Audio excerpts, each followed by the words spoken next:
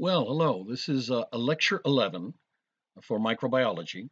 This will cover the infections of the skin and the respiratory system. This will be in the chapters 21 22. We're going to start with the skin first, of course. What I do want to do is bring your attention a couple of things right off the bat. And that is the primer for microbiology diseases, that handout that I provided before.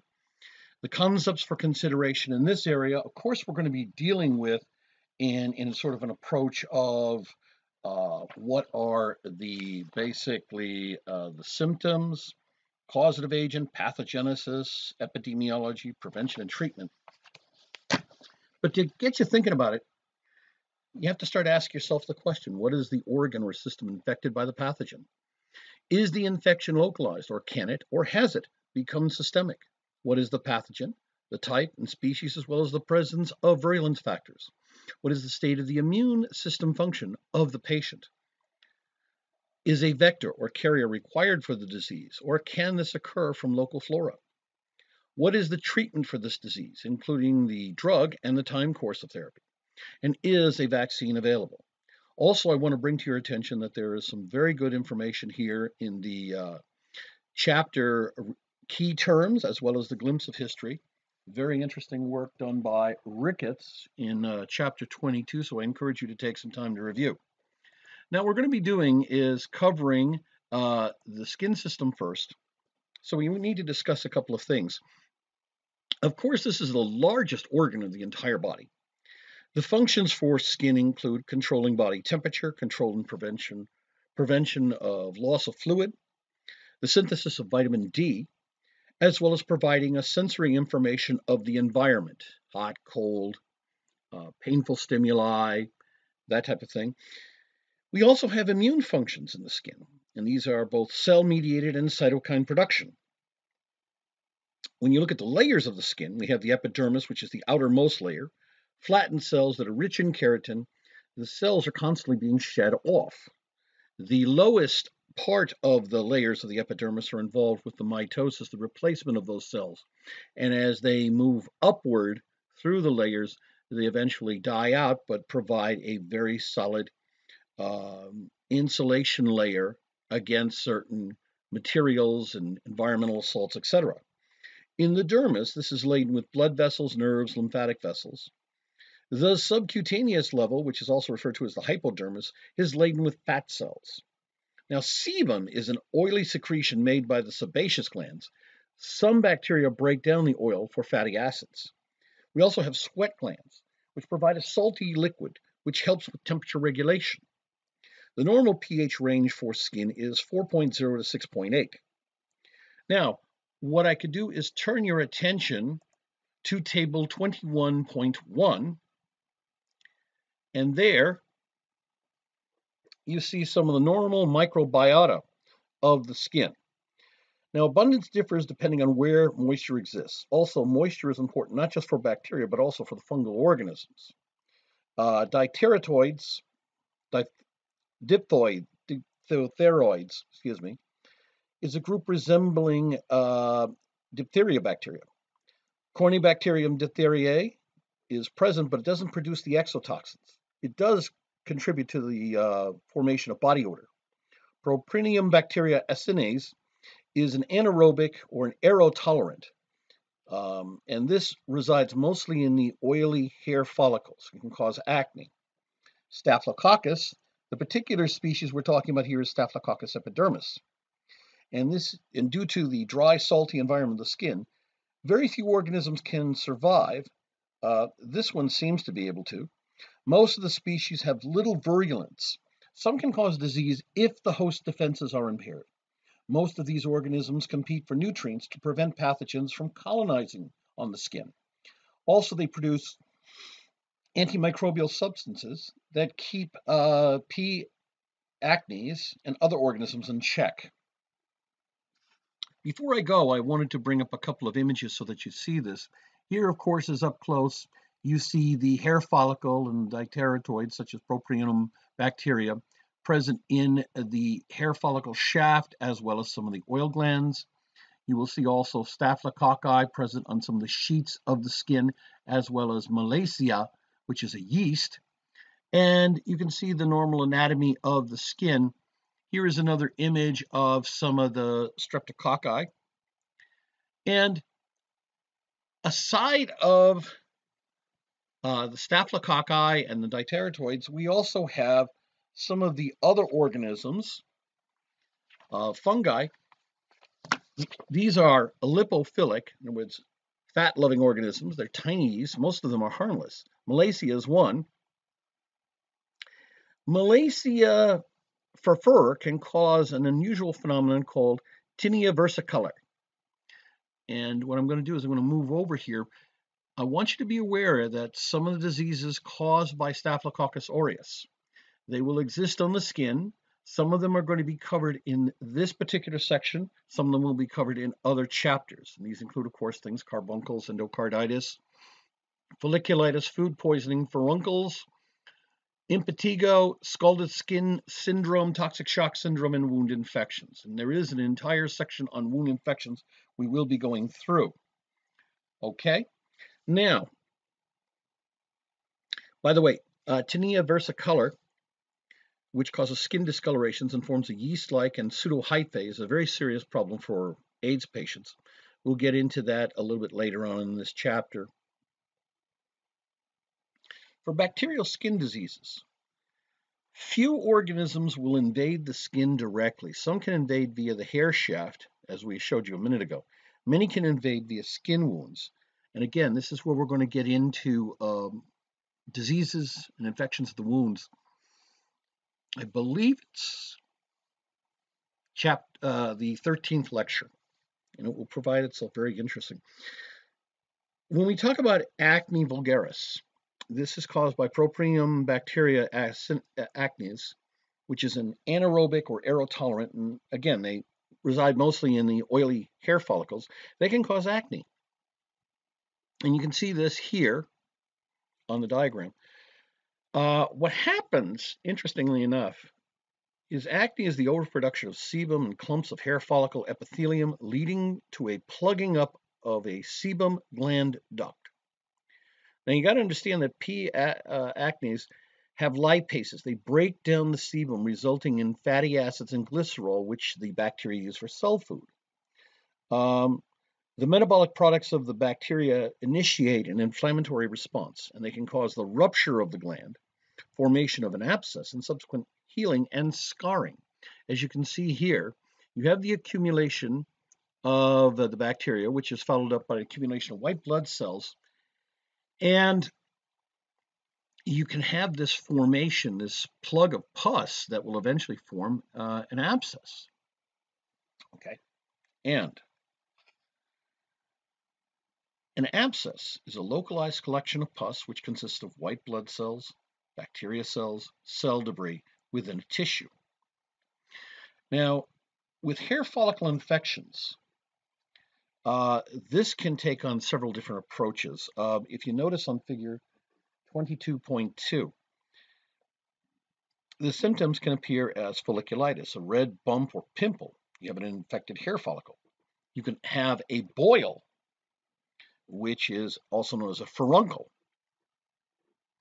This is localized infection that is spread to neighboring tissue. Okay. A carbuncle is a large area of redness and swelling and pain with several sites of pus drainage. Fever may be present, usually occurring in areas of thicker skin, such as the neck.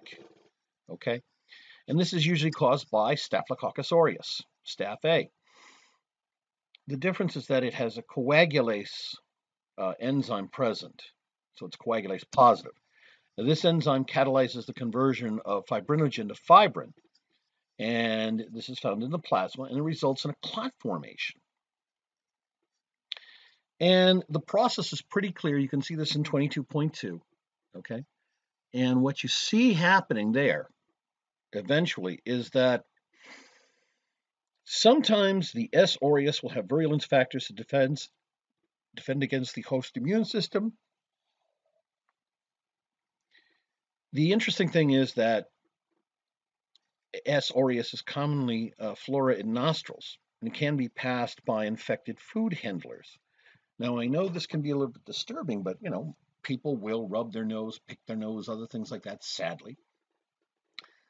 and sometimes they're even wearing gloves. I've actually seen where they did, you know, the the videos of street food handlers in uh, New York City, and their hands are everywhere, and they have the gloves on, but whatever gets on their hands obviously may get into food, and that that you're going to have a problem with. For prevention and treatment with boils and carbuncles, it's surgical draining and antibiotics. Usually due to penicillin resistance, you end up needing to use uh, beta-lactamase resistant penicillins, cephalosporins, or vancomycin. And here are some of the uh, virulence factors that are involved with staph A, Staphylococcus aureus. Notice that you have a variety of them that help prevent uh, the immune system from fighting against this. And this includes the capsule product.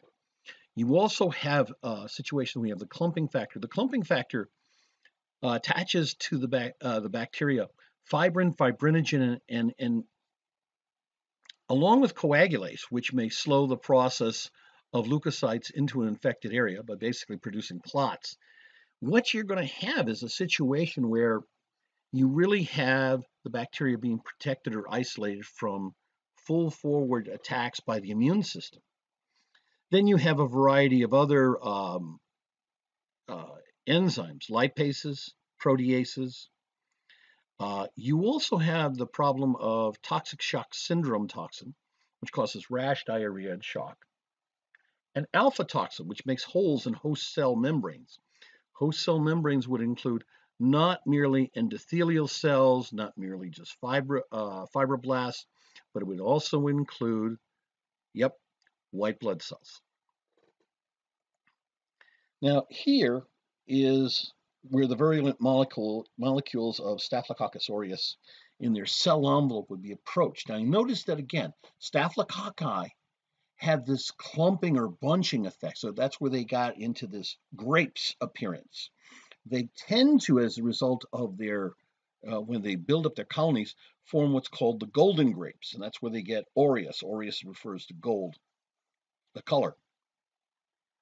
And you can see there that basically between the peptidoglycan and the polysaccharide capsule, and then extending out, you have a variety of uh, virulence factors and some of these can basically disarm even things like antibodies, as you see there with protein A. Now, the next disorder we're going to look into is scalded skin syndrome.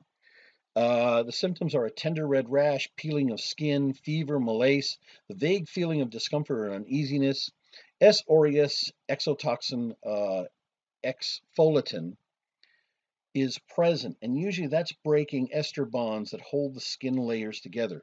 So you get these sheets or peeling off that occurs. Uh, this is where you have Staphylococcus again aureus, and it contains the gene for exfoliatin, and usually that gene will be found either on the plasmid or in the chromosome. The exotoxin carry, is carried by the blood to the skin region. The skin forms blisters and then just basically peels away it leads the patient open to secondary infections, you know, invasion of damaged tissues by new organisms. Epidemiologically, about 5% of S. aureus produces exfoliatins. Sometimes it appears in nurseries, immunocompromised adults, and elderly.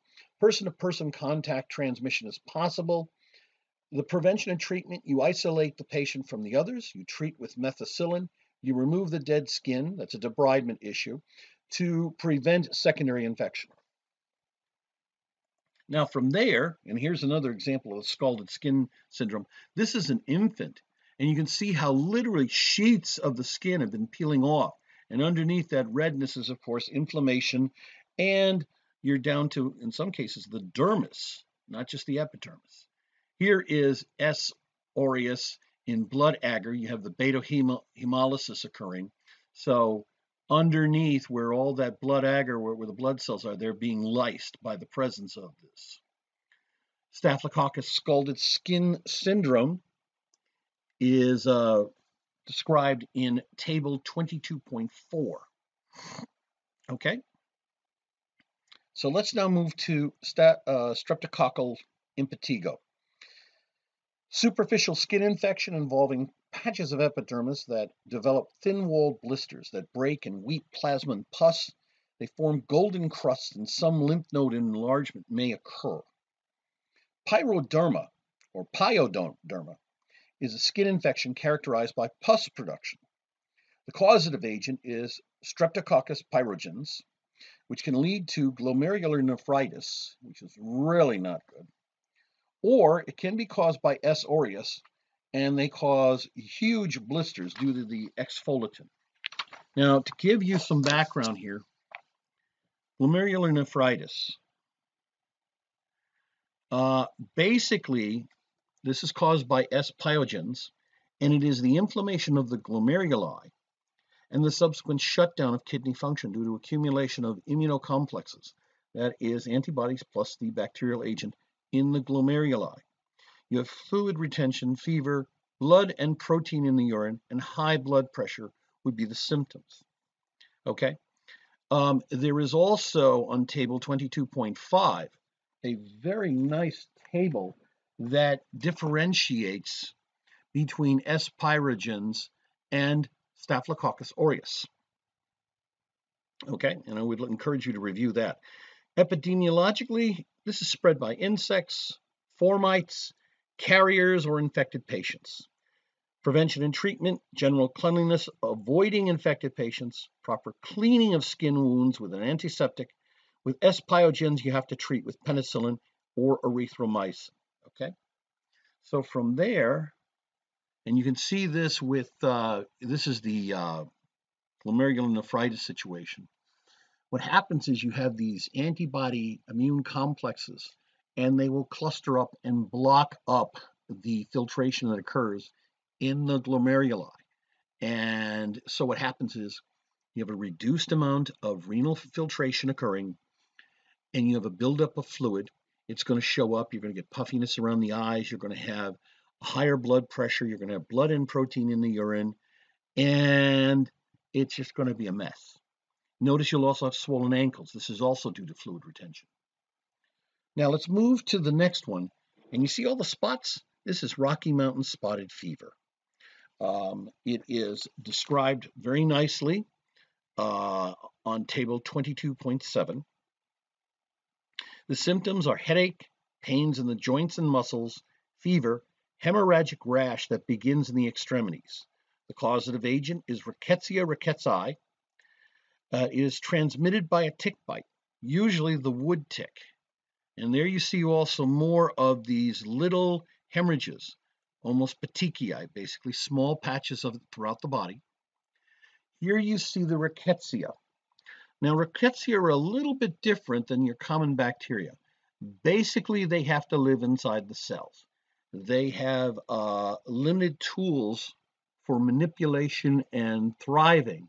And so they have to be transmitted by an arthropod, in this case, ticks.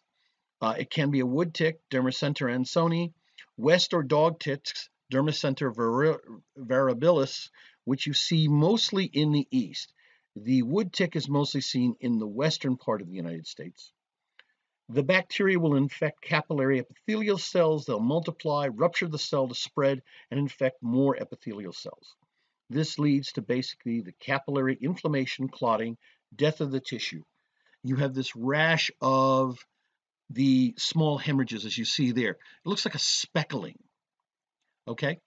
Now, epidemiologically, you take a look at figure 22.8, and what you see is there are certain areas of the country uh, that there's a prevalence. A lot of places it's going to be in areas where ticks would be, woodlands, country land, uh, meadows, things like that. The disease exists primarily in animals other than humans. The transmission from ticks to mammals does occur. Humans are tending to be the accidental host. Uh, the prevention really is to avoid tick infested areas, wear tick repellents, Remove ticks carefully. Treat with tetracycline and chloramphenicol. There is your nasty little wood tick. And here's, of course, the table uh, 22.7 as for a review. keep in mind that here's something of interest. Um, basically, Ricketts, as mentioned in the glimpse in history, was quite remarkable as he was really one of the first to isolate and identify the rickettsia.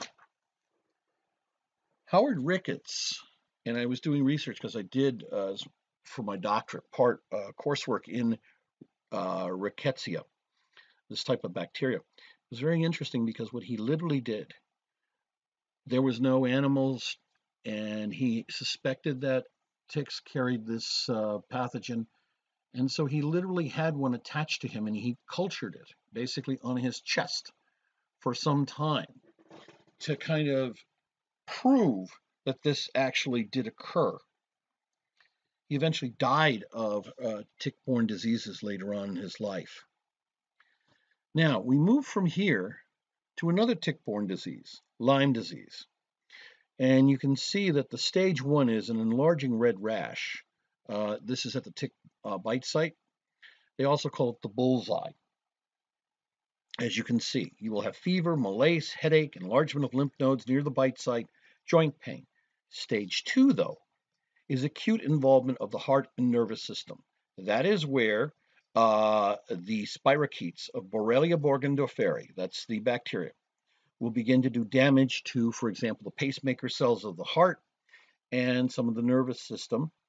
Then Stage three, chronic arthritis and impairments of nervous system. The incubation is about one week. Also, you need to be aware of this. Not all individuals who get Lyme disease have a rash that will appear. Only two out of three cases. Uh, as I mentioned to you, the causative agent is the spirochete Borrelia burgdorferi, and this is due to a bite from an infected black-legged uh, tick Ixodes scapularis. Here's another of the bullseye marks. This is the spirochete. Notice that it's somewhat spiral shaped.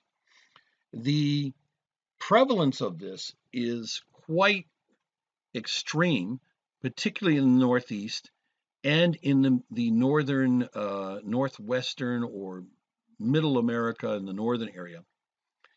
Uh, this is where there are tick rich areas. They're basically they were quite prominent. Okay.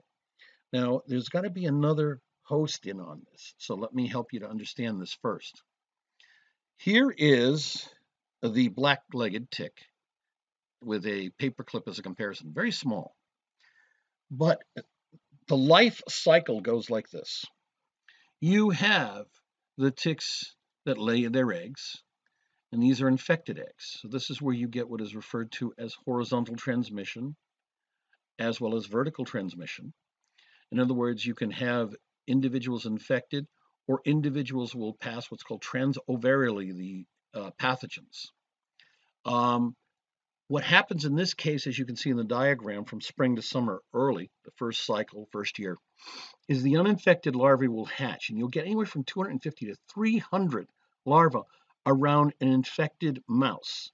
It's usually uh, brown mice or wood mice that basically are the first carriers, and they will help carry uh, the larva through the first year. By that time, after they've been feeding off the mouse for a while, they will um, come out after winter and they will develop into nymphs and the infected nymphs will feed and they will transmit Borrelia burgdorferi. Now, what happens is they will either attach to a mammal, whether it's human, mice again, or usually deer. Okay? And what happens is it is the deer that transfer them all over the place. Usually, when a deer lays down, they had said that about three meters around it, there will be the potential that some of the have fall, uh, ticks have fallen off. Also, when spring comes and fall comes for these ticks to attach uh, to mammals for the wintering season, they will usually climb up stalks of grass, etc., and they will have their front limbs out and just grab on anything that passes by it. Now, The infected larva will acquire infection uh, feeding on the infected animal, usually a white-footed mouse, and that's the host. Or they will get it during the adult stage uh, with an infected host, such as a white-tailed deer. Now, as I said, humans are the accidental host here. Organisms migrate outward from the bite site in a radial fashion. That's where you get that bullseye-looking uh, rash. Eventually, they spread to the bloodstream. The immune reaction to the bacterial antigens causes tissue damage. Heart tissue, nervous tissue, and joint tissue. And usually what is the result is autoimmune in nature. In other words, it tricks the immune system to start attacking your own tissues. Prevention and treatment, basically prevention, avoid tick bites. Uh, have tick repellent material added onto your clothing, etc. Early treatment is with doxycycline. Later cases, you have to do intravenous ampicillin or ceftriaxone. Okay? And here is the basic rundown on the table for Lyme disease. Sadly, there are individuals that uh, basically developed arthritis and didn't know this. Now, where the Lyme comes in is out, out in old Lyme, Connecticut. They had a massive, uh, what they would call um, outbreak or cluster, from an epidemiological terminology, of cases of arthritis. They didn't know what was causing it. And they eventually tracked it down to the ticks that were out there. And if you go to Old Lyme, Connecticut now, you can still go to places and there will be signs. You might want to walk in that meadow or something and they'll have signs saying this is a tick, uh, a high tick area. So they discourage people from walking around there. Okay, from here, we're going to move to viral skin diseases. And exanthema is a skin rash. Many rashes occur as viruses uh, that infected the respiratory system travel in the blood to the skin. So we're going to deal with a few of them right off the bat. And the first one is chickenpox, varicella. Symptoms, as you can see, itchy bumps and blisters, small red spots are macules. Little bumps are papules. Small blisters are vesicles. And that's how they develop in that pattern. Fever will start up and then later will manifest itself sometimes years later as shingles. Here's the deal with shingles and chickenpox. Chickenpox you've been exposed to, but what will happen is the virus, the herpes zoster, uh, basically hides in the trigeminal nerve and you end up with a reactivation of the chickenpox later. Uh, in shingles, it basically would be a pain in the area served by a sensory nerve. Therefore, it's going to be limited to one side of the body. So if you have uh, not bilateral, but unilateral band of a rash, it's usually indicative of shingles. Okay? The, the area will be infected with the virus. The rash will develop afterwards at that site. The rash subsides, but pain may last for weeks or longer. Usually occurs during a breakdown of cell-mediated immune memory uh, years later. So in other words, what we're talking about is the immune system which has been keeping the virus as it might leak out of the trigeminal nerve area in check. If that immune system starts breaking down, then you're going to start having the proliferation of this uh, virus. Now, there is another disorder you need to be aware of related that's called Reye syndrome. It, it mostly occurs with children receiving aspirin for either influenza or chickenpox. It is often a fatal condition characterized by vomiting, coma, and brain or liver damage. Now, as I said, the causative agent for chickenpox is a varicella zoster virus. Now, excuse me. This is an enveloped double-stranded DNA virus. It is a member of the herpes virus family. Uh, the pathogenesis, basically the portal of entry, is usually respiratory. It infects the lungs, replicates, travels into the blood system, uh, bloodstream to the skin cells, and in skin cells will infect and spread to adjacent cells in living layers of the skin and spread to sensory nerves, where it travels to the sensory ganglia. Humans are basically the only reservoir. Incubation lasts about two weeks. Immunization reduces incidence. The prevention and treatment. There is a vaccine for chickenpox available. It should be done before the 13th birthday. Zoster immune globulin, ZIG, exists to passively immunize the patient Acyclovir and famciclovir are helpful in preventing and treating varicella zoster infections. Okay, here's some more of the rash. Here is unfortunately the virus. And here is the table, which would give you the review of the pathogenesis, the breakdown of how it occurs. From here, we're going to move into measles. And that little fellow there has a bad case of the measles, not German measles, regular measles. Regular measles would be called rubeola. German measles is rubella. So let's get into the differences. If you want, take a look at 2210. Now, I'm going to get into this image first, and then we'll get to the table. Measles are also referred to as red measles or hard measles. The formal name is rubeola. The symptoms include rash, fever, weepy eyes, cough, nasal discharge, secondary uh, infections of uh, S. aureus or step, uh, Streptococcus pneumoniae or Streptococcus pyogenes or Haemophilus influenzae can occur due to measles damaging the normal body defenses. Usually this leads to pneumonia or earaches. Rubeola virus is a single-stranded, negative sense RNA virus of the paramyxovirus family. The portal of entry is respiratory. The mucous membranes are involved and they are also an important diagnostic sign. This is called Koplik spots. They are salt grain-like spots and you can see them here. And they're right on, as you can see this, right on the, the side walls of the mouth and on the tongue. In some cases underneath the tongue. Now,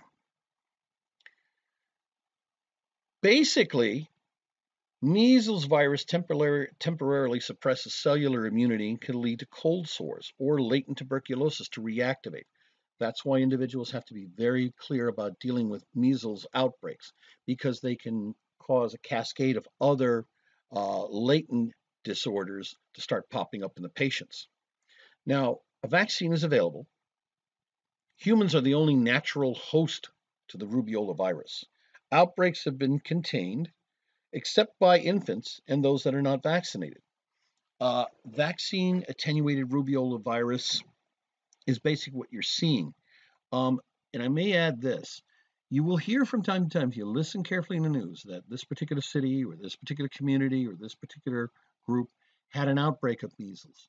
Reason usually is some individuals have uh, neither in, in basically inoculated themselves or the uh, herd immunity of that particular group has been reduced because some individuals have not received a vaccination or followed up on follow-up vaccines for a period of time and now have become vulnerable to measles. Keep in mind that the vaccine is part of the MMR vaccine, measles, mumps, rubella vaccine. It's given to children college students, medical personnel. There is no present uh, antiviral treatment.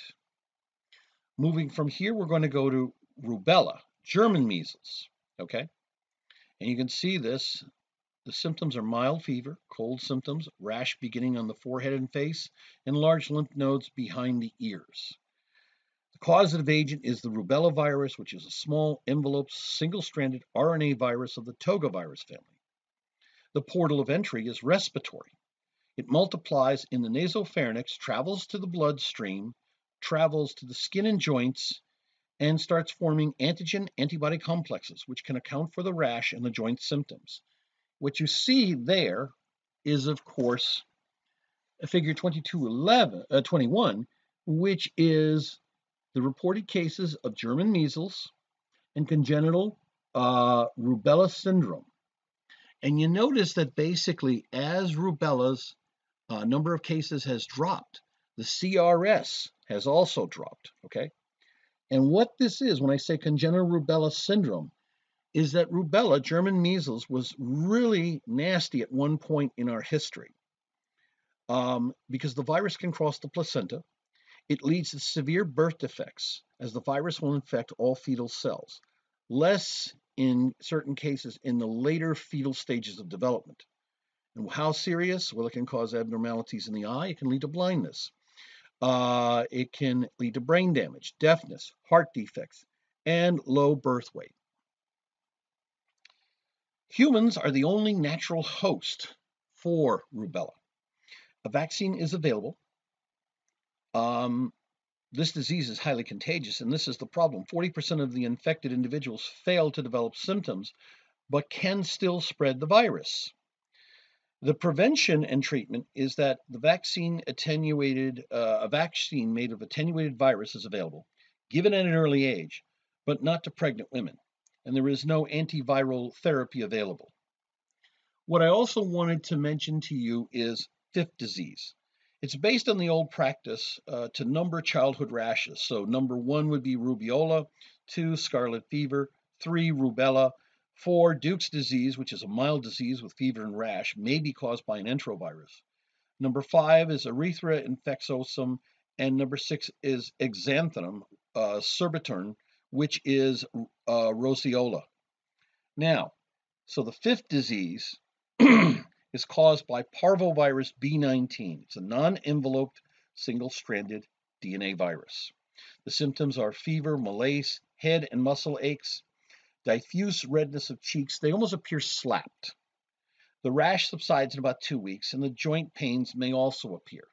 So you can see there the kids' joints are maybe a little bit painful, and this patient did have that sort of like uh, little rash on the face.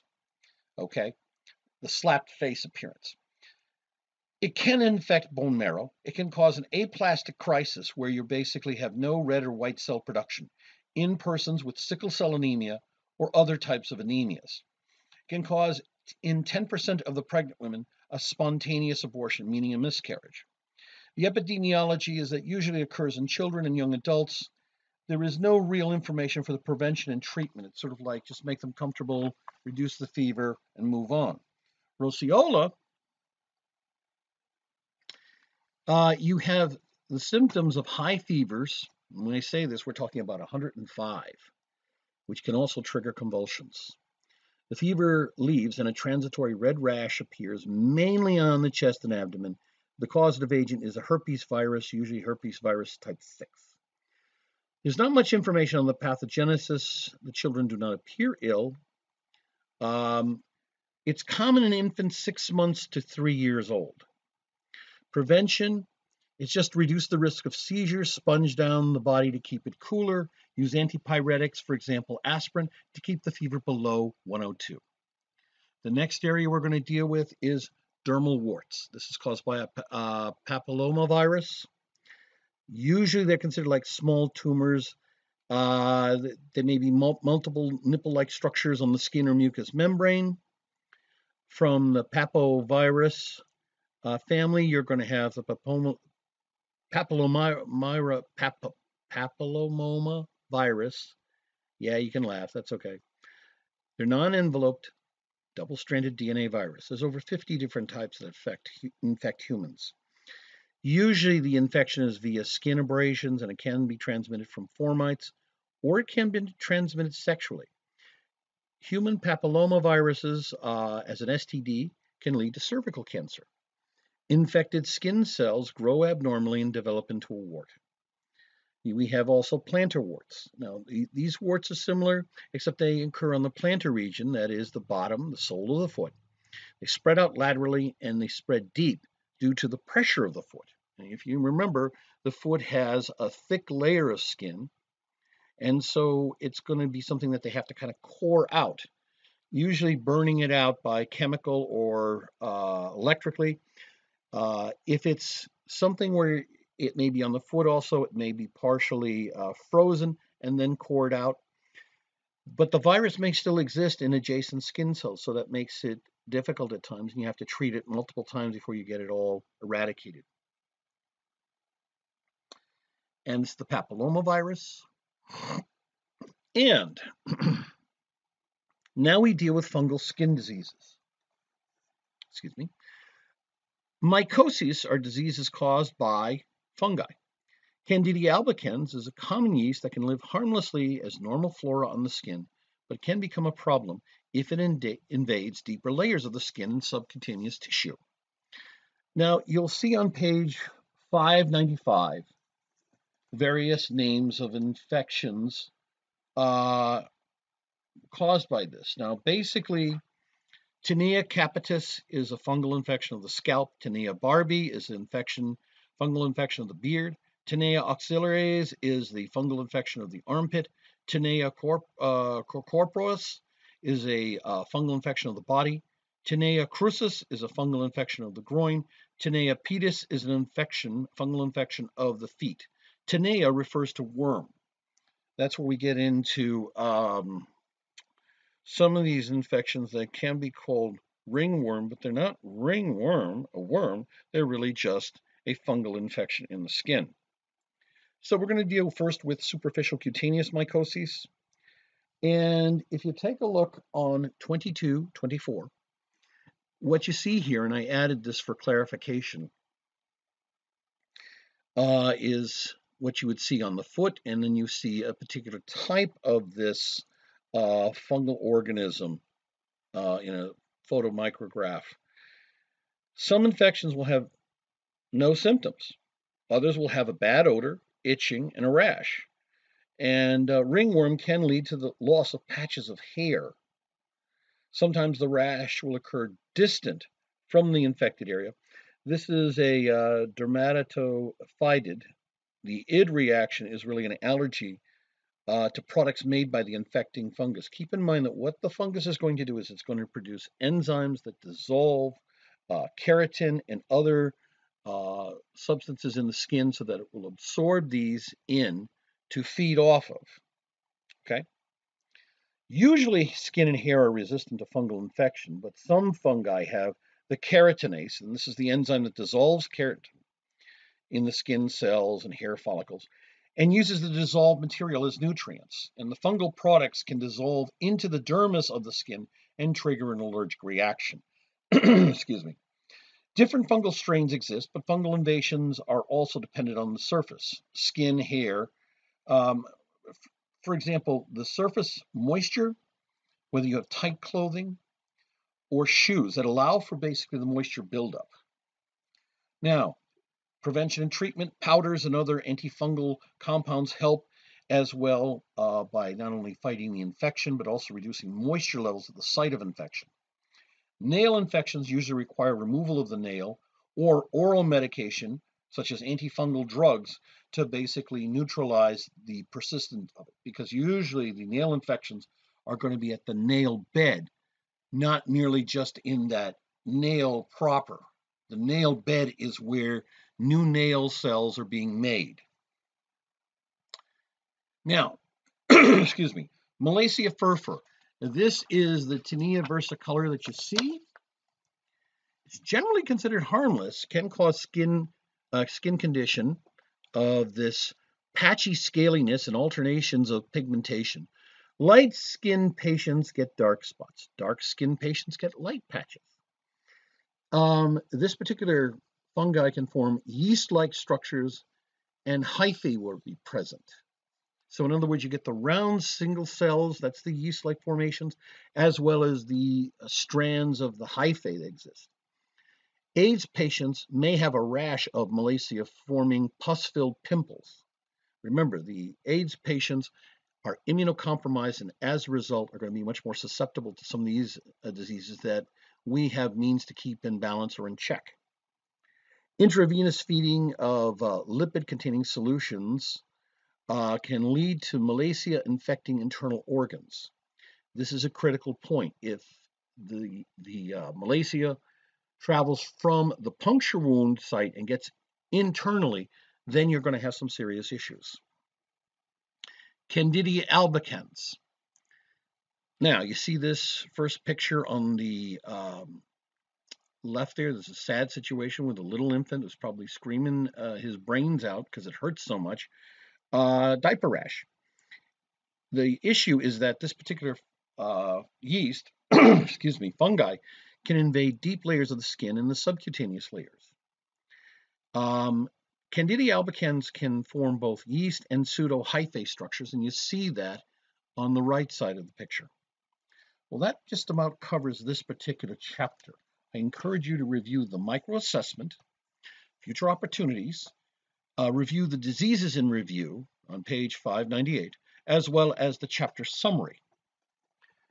From here, we're going to move into chapter 21 and infections of the respiratory system. Now, what I encourage everyone to do, first and foremost, is to review uh, basically figure 21.1. And that's important to review in this diagram. There was a little image there. Don't worry about it. It's an, it's an artifact. Sorry about that. Keep in mind that the respiratory system, what you have here is a major portal of entry. The eyes, the nose, and the respiratory going into the mouth. The factors that favor infection, warm, dark, moist, high carbon dioxide levels, lower oxygen levels, generally high levels in gas exchange. What is the function of the respiratory system? Well, gas exchange, phonation.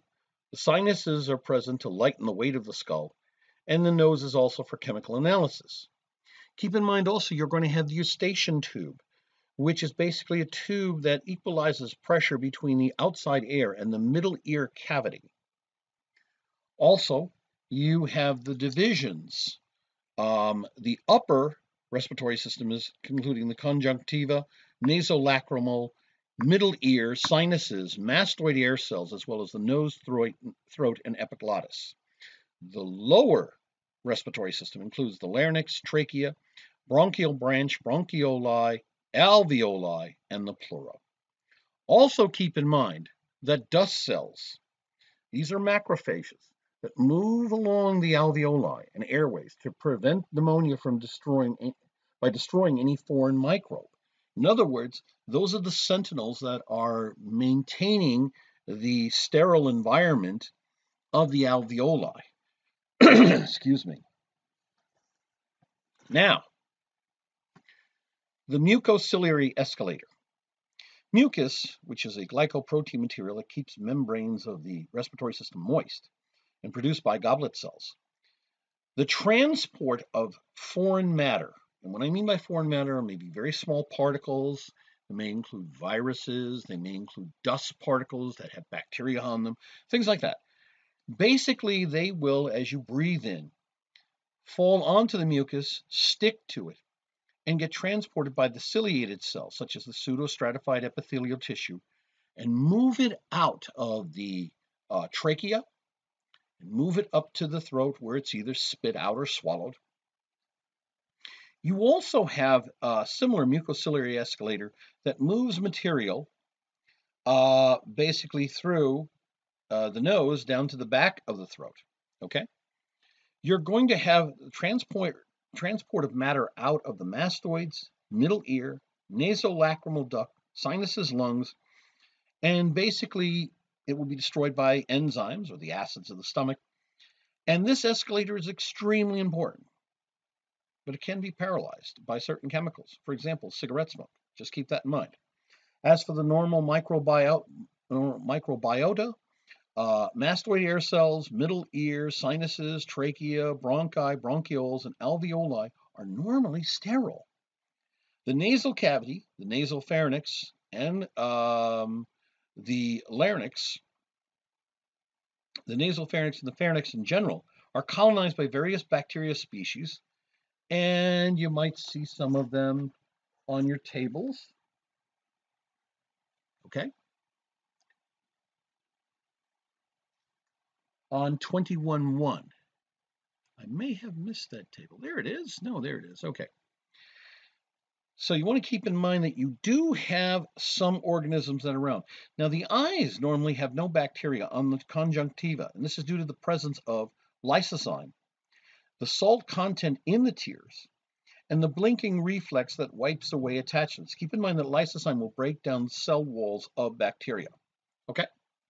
So let's move into the bacterial infections of the upper respiratory system first.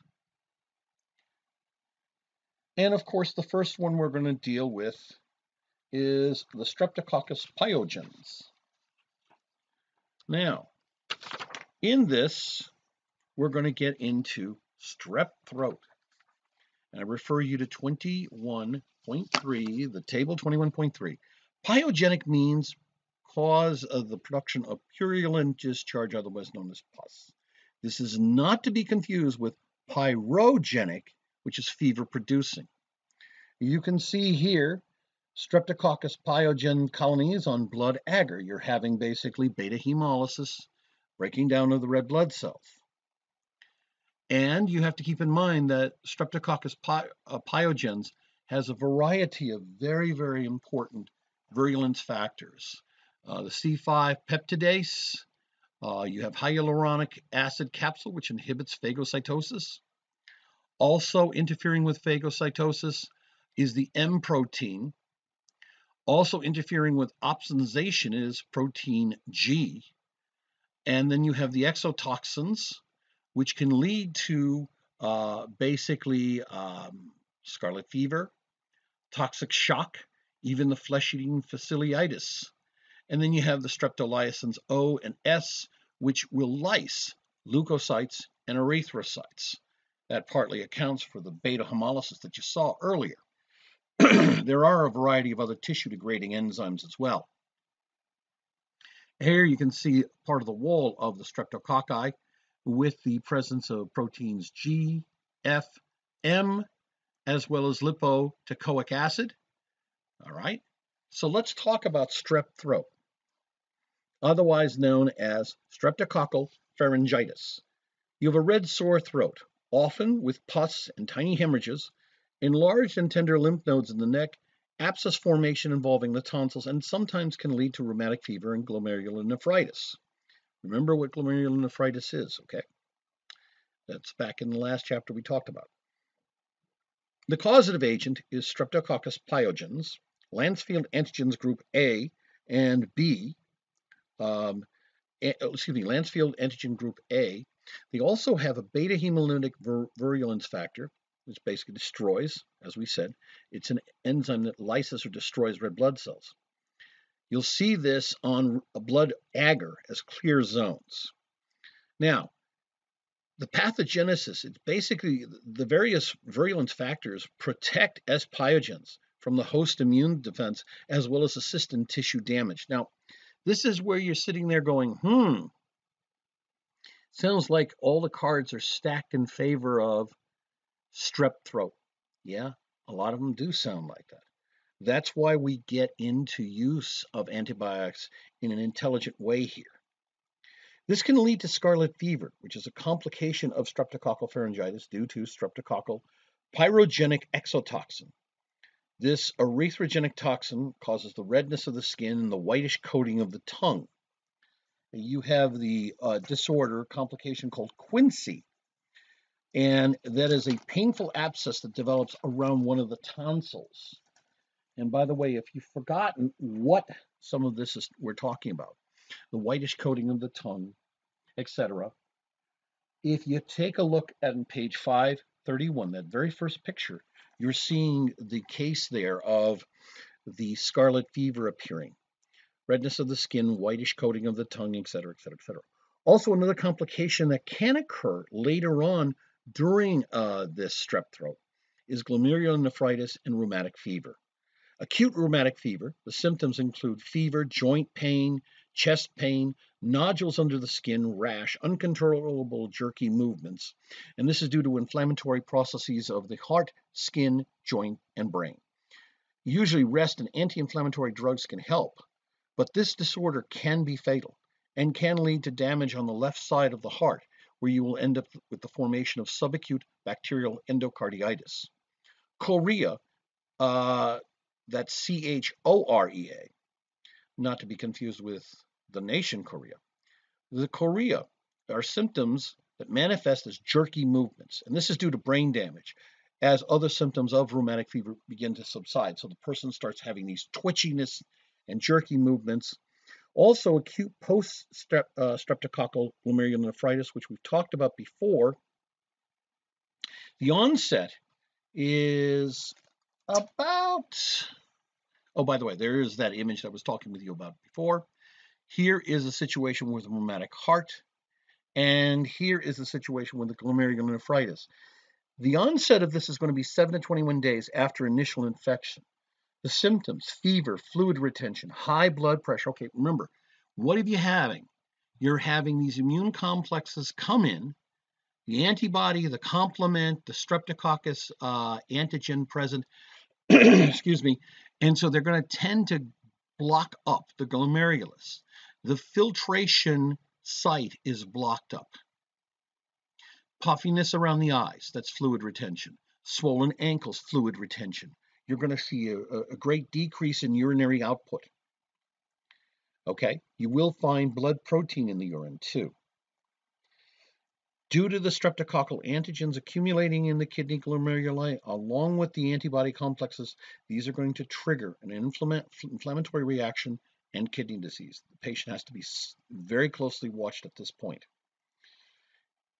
Epidemiologically, this is easily spread by respiratory droplets produced from yelling, coughing, or sneezing. Epidemics of strep throat can originate from uh, food contamination by S. pyrogens carriers. You can also have poor ventilation or crowding, which will enhance the transmission in infection. So, poor ventilation and crowding, refugee centers, uh, places where maybe daycare centers, public schools, military barracks, things like that if there's poor ventilation or if there's really a close confinement of these individuals, that's when uh, just one can lead to many individuals having that same disease. Moving on, we go to diphtheria. And diphtheria, the symptoms are sore throat, fever, fatigue, and malaise. Later, a gray, a whitish gray membrane composed of clotted blood leukocytes and epithelial cells will form on the tonsils. Okay? And they can form also in the throat and nasal cavity. This can become loosened and block airflow. It can lead to choking. Heart and kidney failure and paralysis will follow these symptoms. What is the causative agent? Corynebacterium diphtheriae.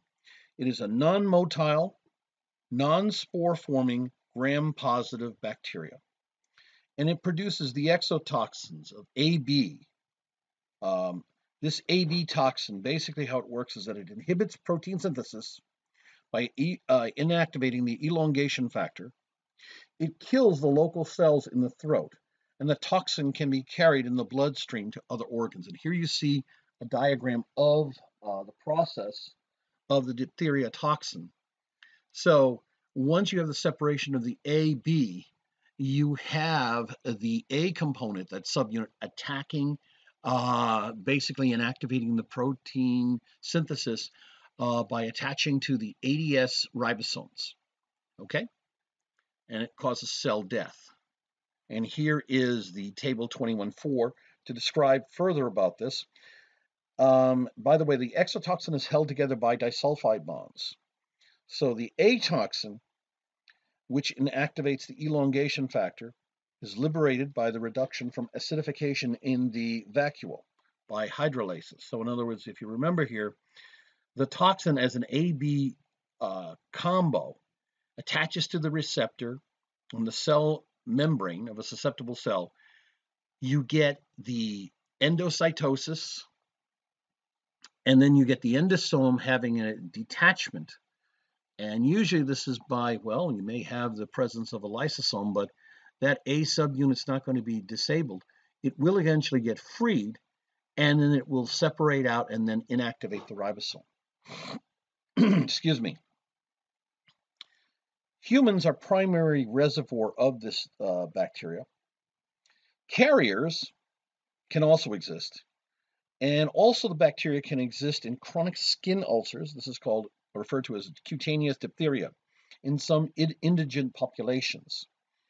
Now, there is a vaccine. It's made from a toxoid, which is basically a formalin treatment of the diphtheria toxin, and they inactivate it. And that is an injected. That's part of the um, DPT or DTP um, vaccine. The D is for the diphtheria. Let's go to pink eye, and that is conjunctivitis. Uh, the symptoms are increased tears, redness of the conjunctivitis, swelling of the eyelids, sensitivity to bright light, and large amounts of pus being produced. You see that there in that poor child. Okay, so you've got bacterial conjunctivitis there. The causative agent, and it must be distinguished from viral infections because there are viral causes for pink eye. But usually the bacterial ones will be Haemophilus influenzae with a gram-negative rod, Streptococcus pneumoniae, which is a gram-positive encapsulated diplococcus, and sometimes Moraxella lacunata, Neisseria gonorrhoeae. Also, sometimes due to contaminated uh, contact lenses, you have a bacillus species present. Most of the time, the pathogenesis is that this is an airborne respiratory droplets and contaminated hands. And the passage may be due to children, especially in crowding, such as in schools. The prevention is to remove the child from the school and isolate others from the contamination. Eye drops or ointments with antimicrobial medications are usually what helps.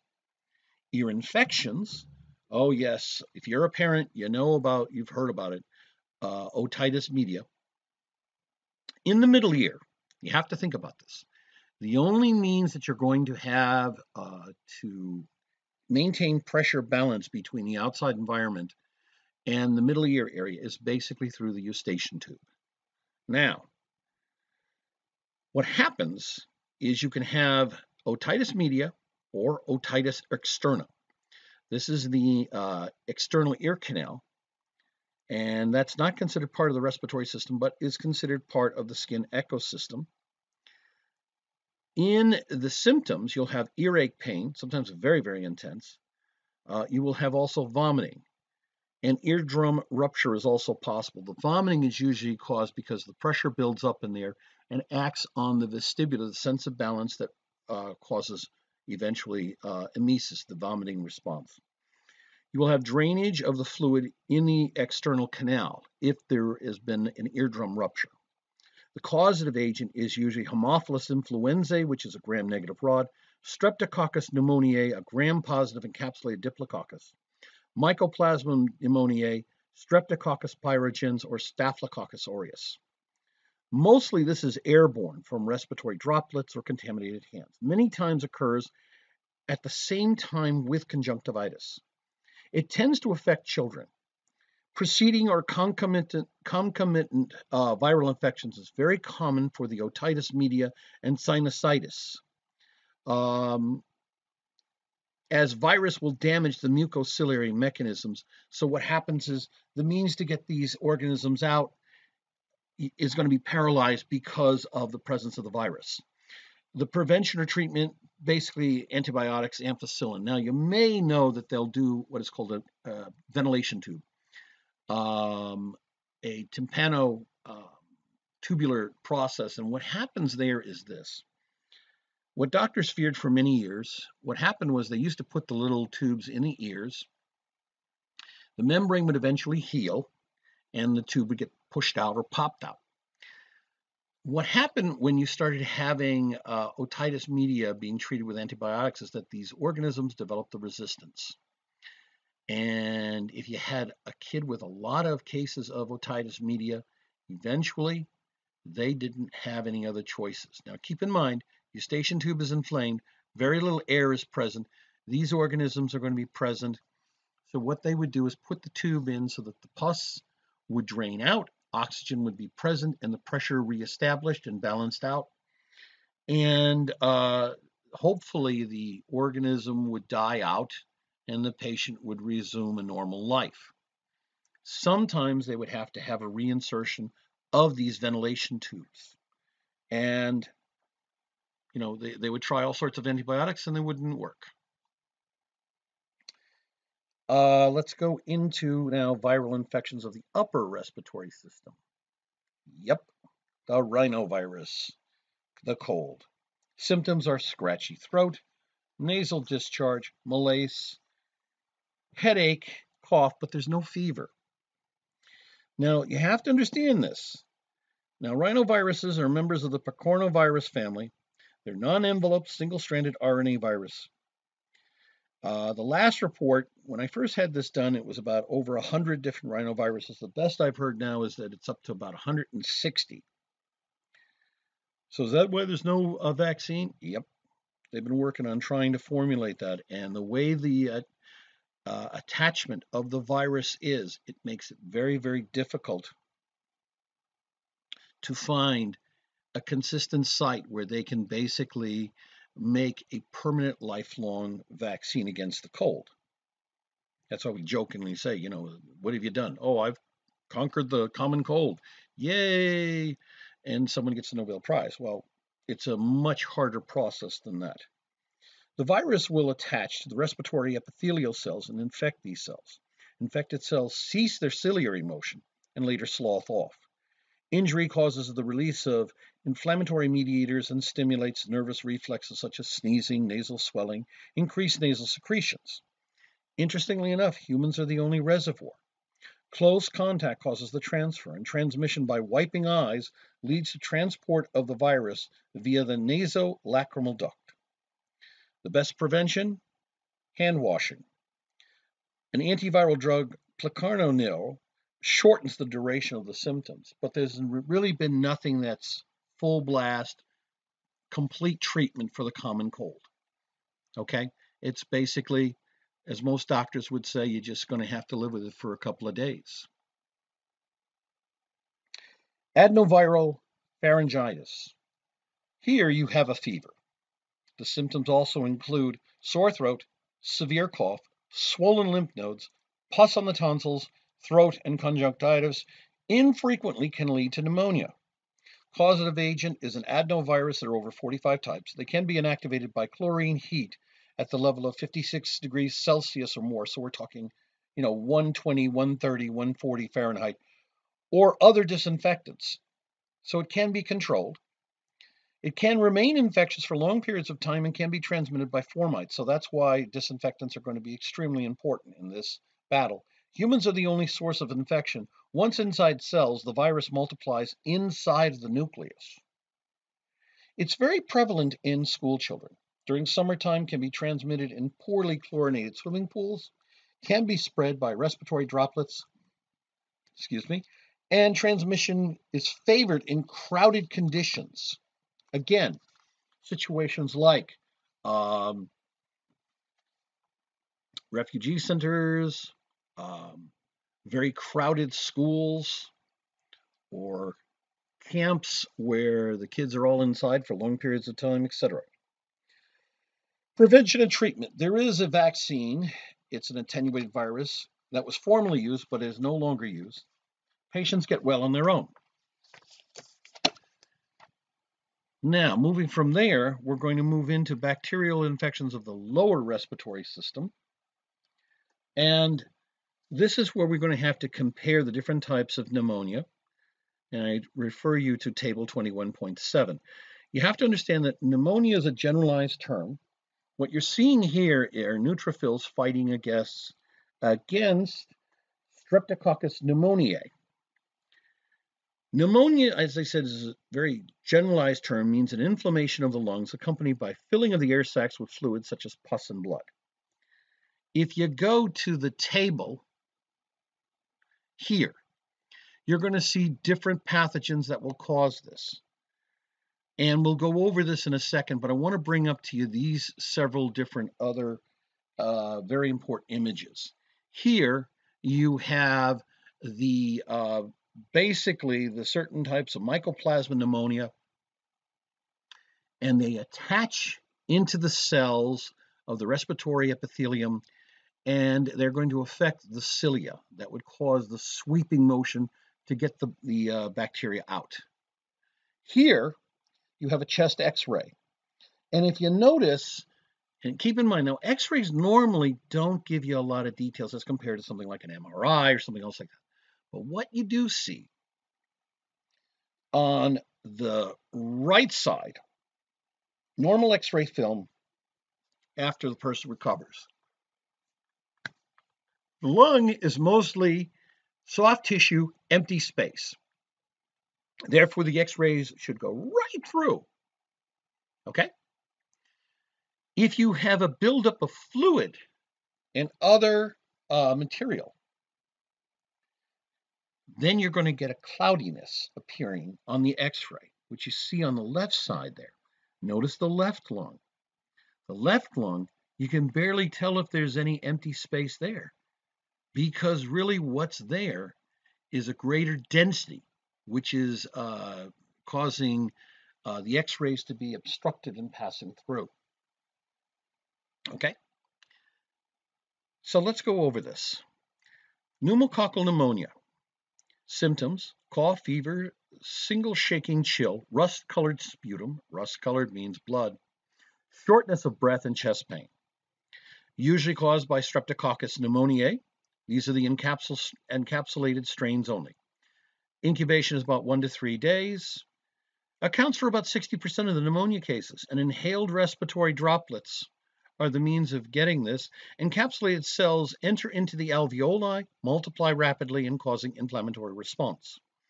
Carriers will pass on the disease. Usually, the risk is increased with impaired health, such as uh, alcoholism, narcotic use, individuals with respiratory viral diseases such as influenza.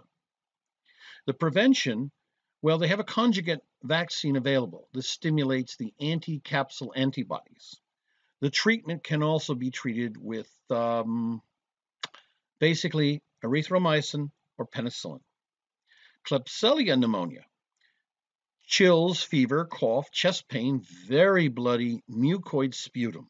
So mucoid basically meaning extremely thick, viscous. It's not thin, watered out. It's much more thick. And Klebsiella pneumoniae, which is Enterobacterium, which has an incubation of one to three days, is the causative agent. And this pneumonia will cause death of lung tissue and rapid formation of lung abscesses. Even with treatment, permanent damage to the lung can occur. Normally, this type of bacteria is part of the normal flora of the intestine. These types attack the very young, the very old, alcoholics, nursing home patients, and others uh, that happen to be debilitated by other diseases. Without treatment, the mortality is 50 to 80 percent. Prevention and treatment. Disinfect the environment, antimicrobial medication where necessary. No vaccine is available. Klebsiella strains have been found to be antibiotic resistant. Some have ESBL. In other words, uh, much more sophisticated beta lactamase uh, resistance, and so they're resistant to cephalosporins. Mycoplasma pneumonia.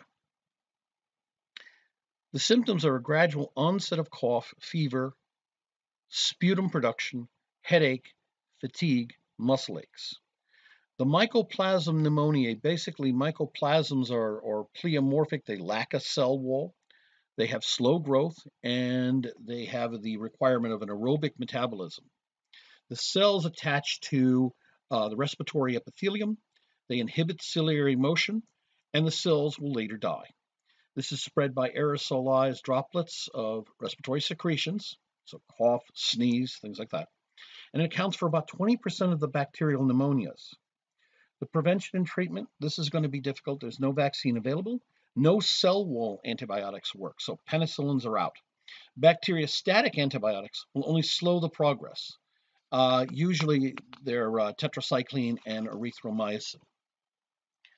And you can see the mucoid appearance here from the Klebsiella. This is grown on a plate, and you have that mucoid nature of the bacteria growth. Also, this is Mycoplasma pneumonia colonies, and it looks like a sort of a fried egg appearance. Okay, here we have anthrax. This is the inhalation version, okay? There is a gastrointestinal one. This is due to eating contaminated meat. A, a cutaneous one where you have the blackened infectious site form. They will form eschars.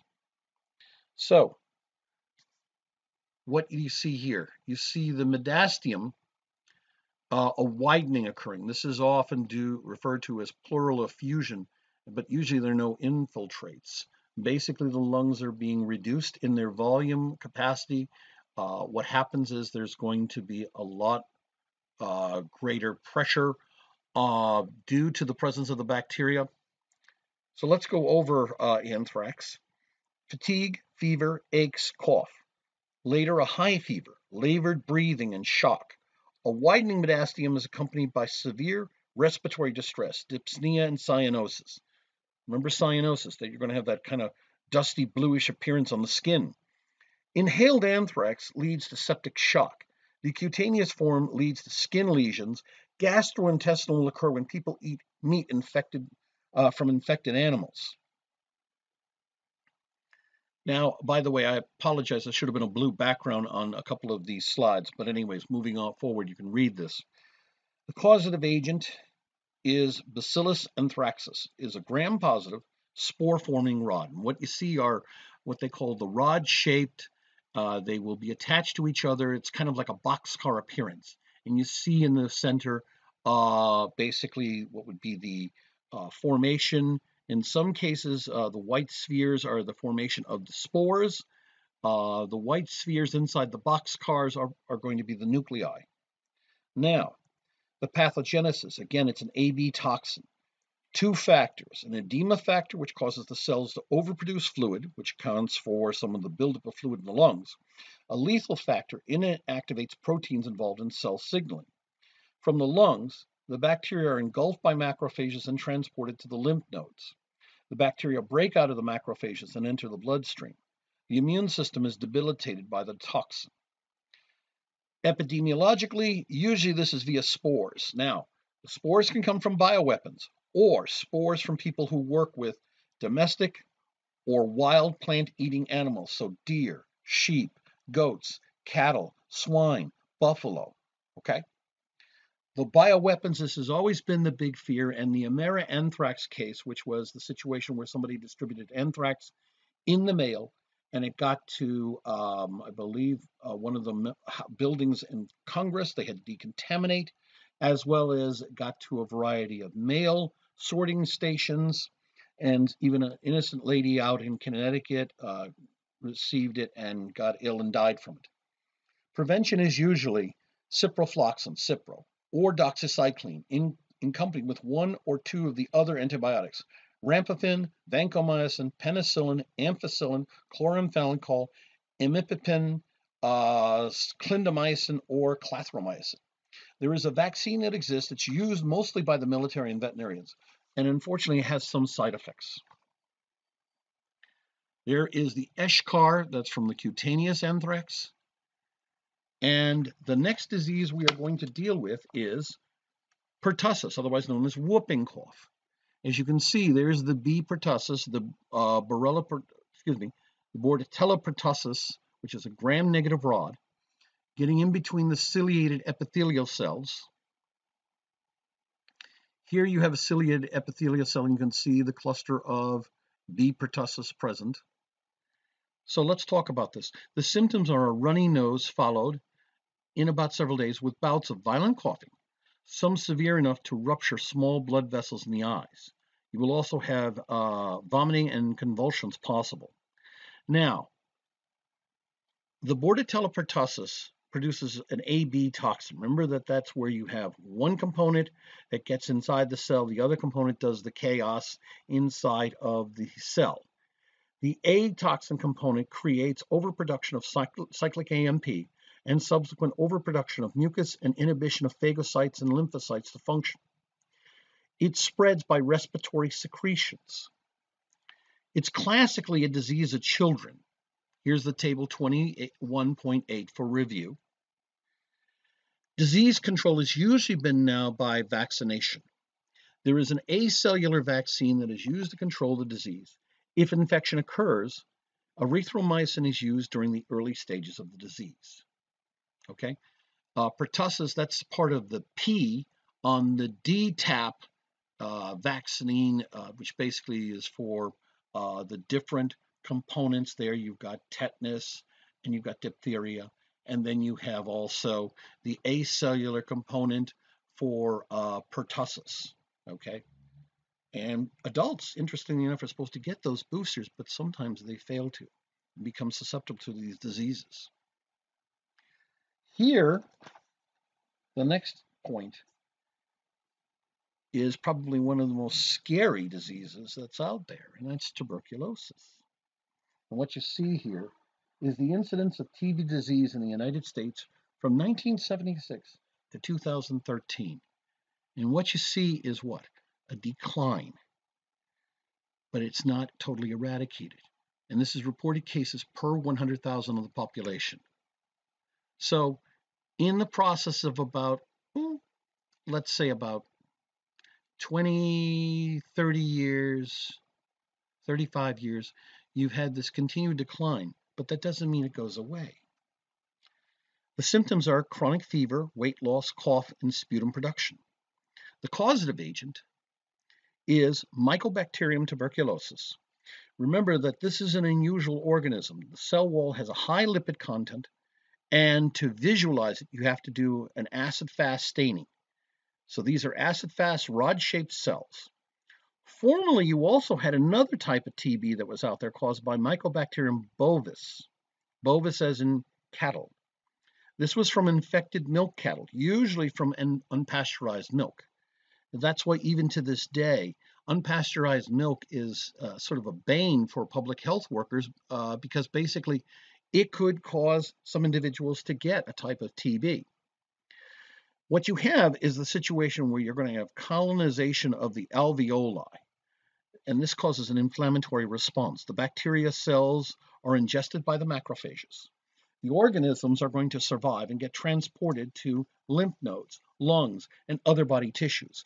Later, a tubercle bacilli will multiply and granulomas, which are localized collection of inflammatory cells, will form consisting of encasement of the infected macrophages by other lymphocytes and macrophages. Okay, so basically you're forming this in uh, basically this caseum or this case fibrous capsule this tubercle will form. Okay, that's kind of good, isn't it? Granulomas of tuberculosis are called tubercles. The problem, there's a condition called caseous necrosis. This is the death of the lung tissue, leading to the formation of a cheesy-like material. The tubercle bacteria can break out of the tubercle, and lysis, lysis of the uh, macrophages leads to the release of uh, the macrophage digestive enzymes that surround uh, the tissue. If the process occurs in a bronchi, it will lead to a cavity, a large lung defect, and further spread of the bacteria. What you have to understand, and you see this down at the bottom, the tubercle is rupturing, and you have free mycobacterium that are now going to pass through the airway. They can also then migrate back up into the blood. Okay? Now, all of that has been discussed. Let's talk about epidemiology for a minute. Transmission is almost entirely by the respiratory system. Okay? You can see the cavities that have formed in this X-ray.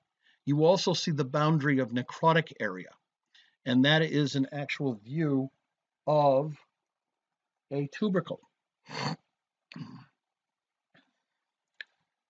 Now, the Mantoux test is a tuberculin test that's used to detect TB infected patients. They react to what's called a PPD, a purified protein derivative. And this is an example of it.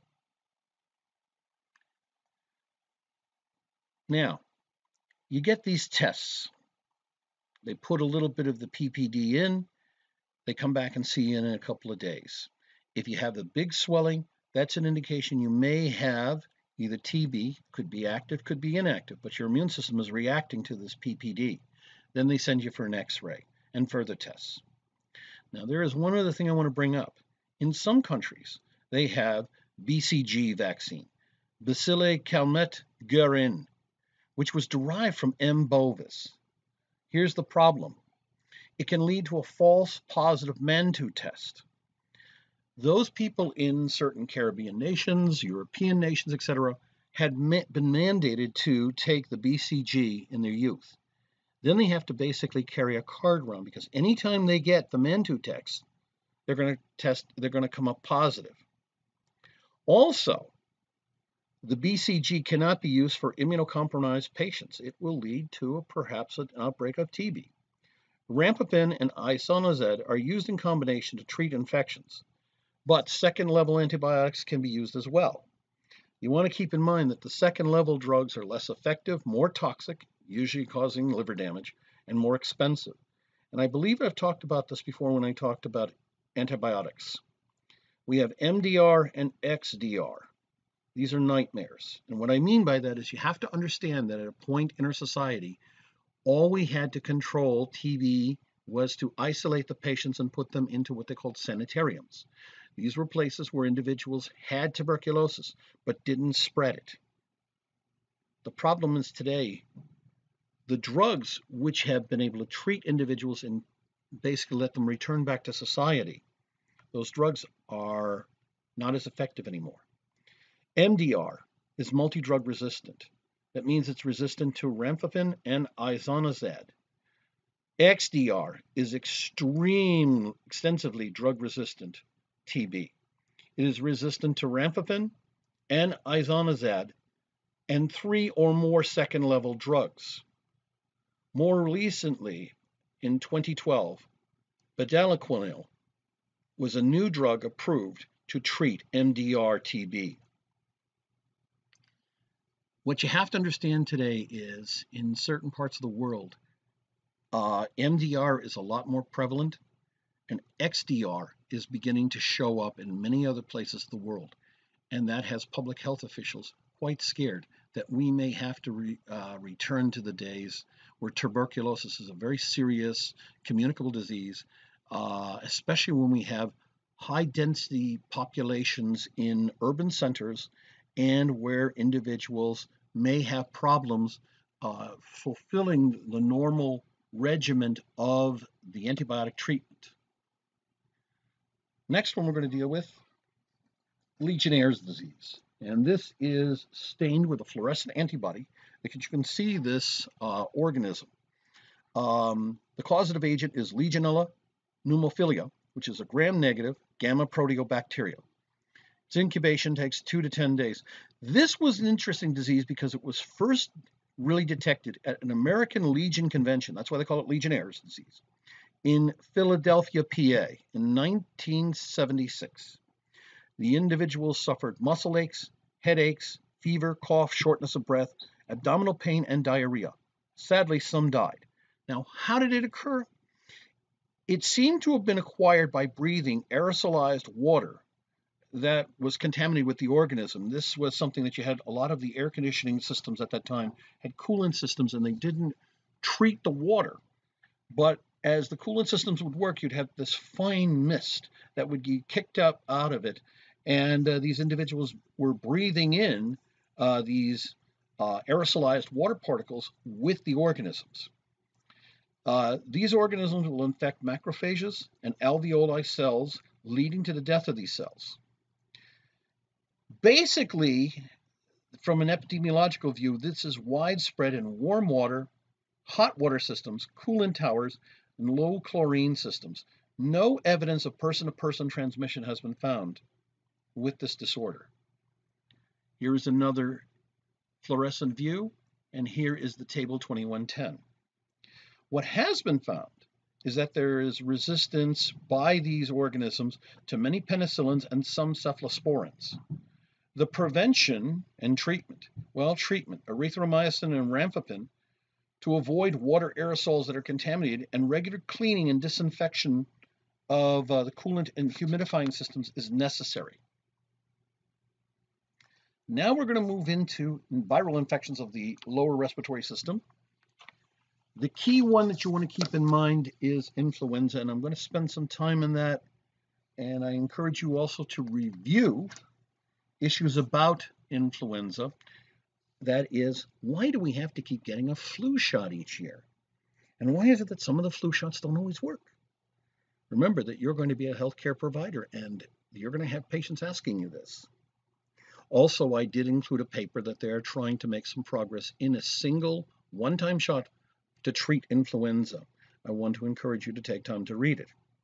What are the symptoms? Fever, muscle aches, headaches, sore throat, cough, nasal congestion.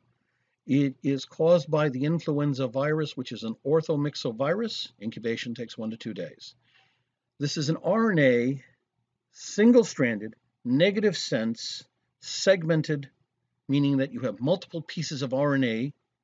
Uh, it is an enveloped virus, and it has hemagglutinin and neuraminidase proteins in the envelope that assist in the implantation and the uh, release from the cell of the virus, okay? Now, it sounds like a mouthful, but I want you to start thinking about this. The pathogenesis is that you are inhaling aerosolized respiratory secretions, basically droplets. It infects the respiratory epithelium as the hemagglutinin attaches to receptors on ciliated cells. Death usually occurs from bacterial secondary infections. Outbreaks occur every year. Outbreaks occur due to genetic changes, and I refer you back to figure 2124, which human immune systems are bypassed. Here is the images of the hemagglutinin and neuraminidase. That's where you get into the H number and the N number. Notice the, uh, the RNA segments inside, and each RNA has a nucleoprotein with it. Okay? What you have are the problems of antigenic drift and antigenic shift. Remember that this is a virus that has eight segments.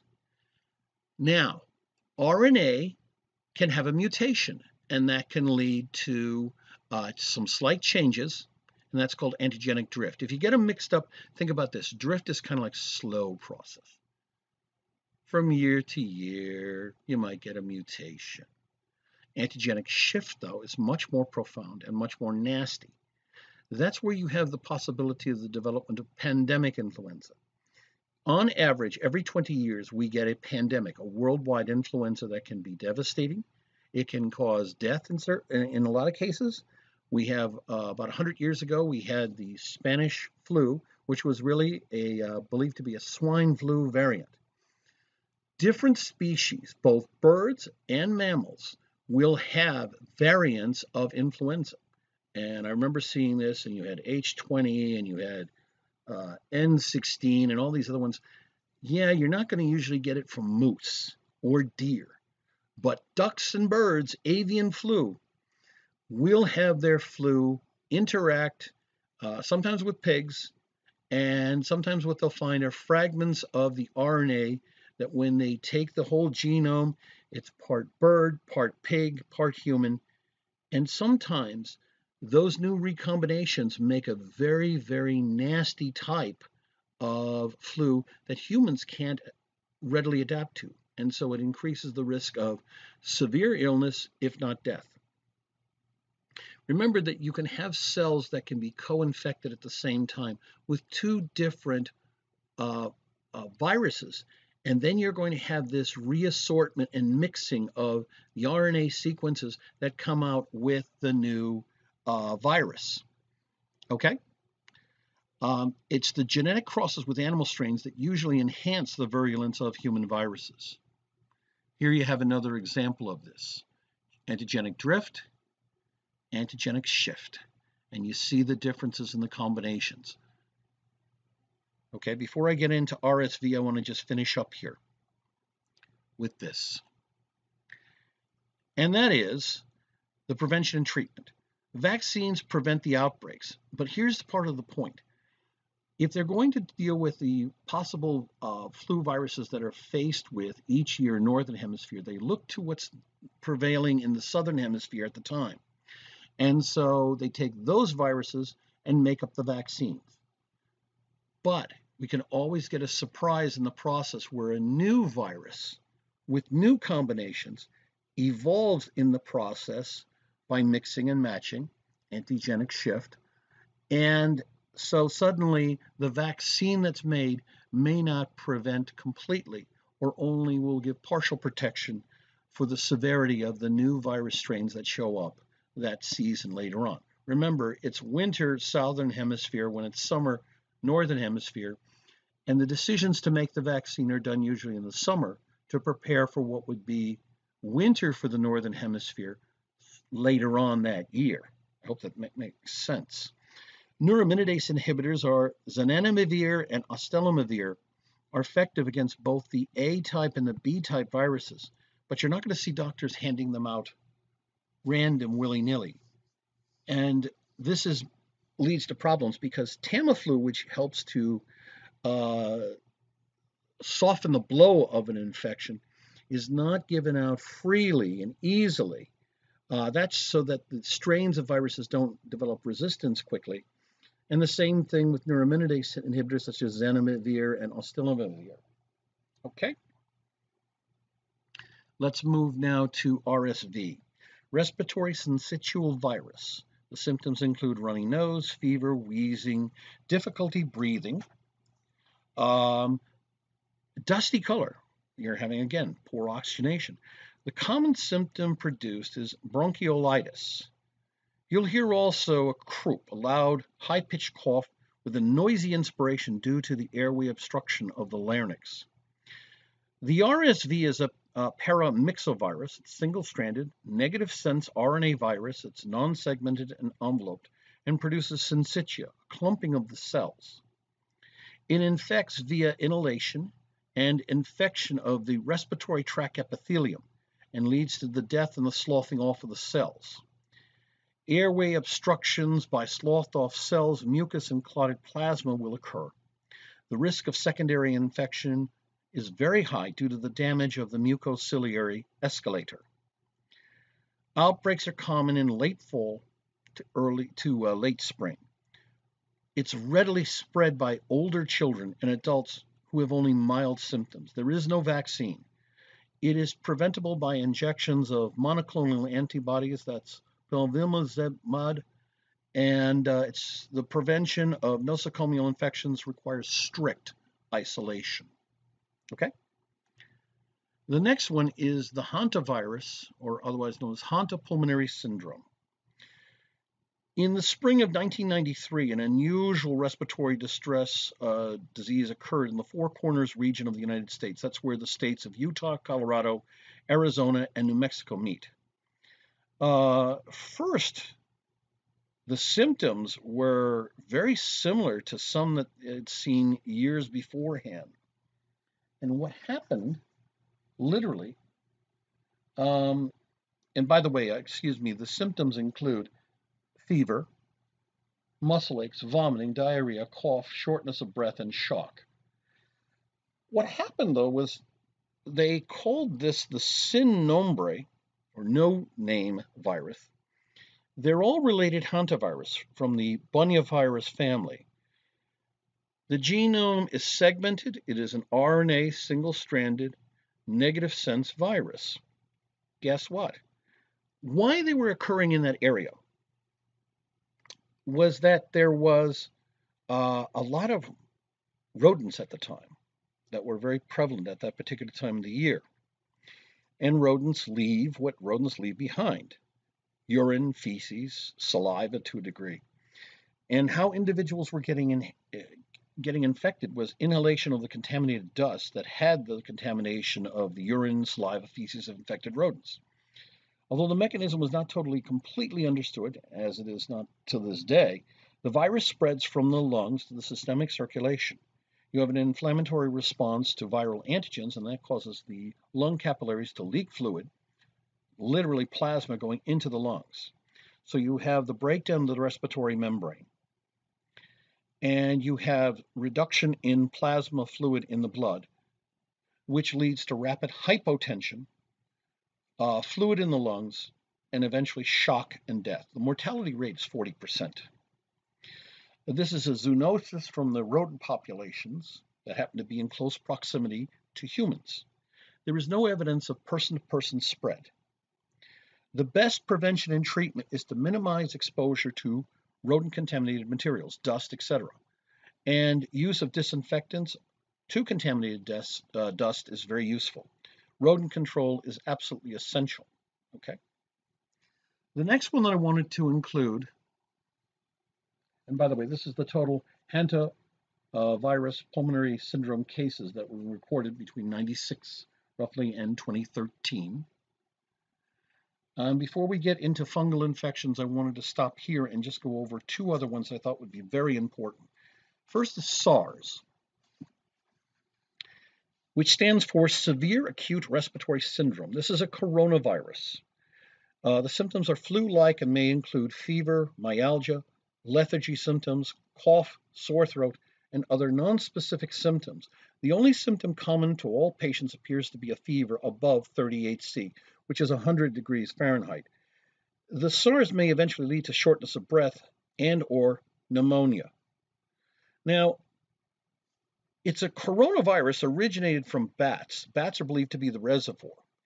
Um, and the problem was that when this first occurred in China, this was found to be prevalent in wild animals sold as food in local markets, particularly the bats. Experts believe the SARS may have actually first developed in animals because the virus was found in civets. Now, civets are a cat-like wild animal that's eaten as a delicacy in China, as well as eat consumption of other animals. What happens is that more severe damage caused by SARS may be due to the body's own immune system reacting in what is known as a cytokine storm. In other words, also it's referred to as a cytokine cascade, cascade or hypercytokinemia. It's basically a very potentially fatal immune reaction consisting of a positive feedback loop between cytokines and white blood cells with highly elevated levels of various cytokines.